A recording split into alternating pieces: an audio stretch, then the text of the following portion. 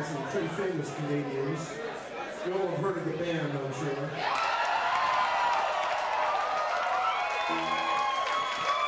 A Little snare drum fixing music for you.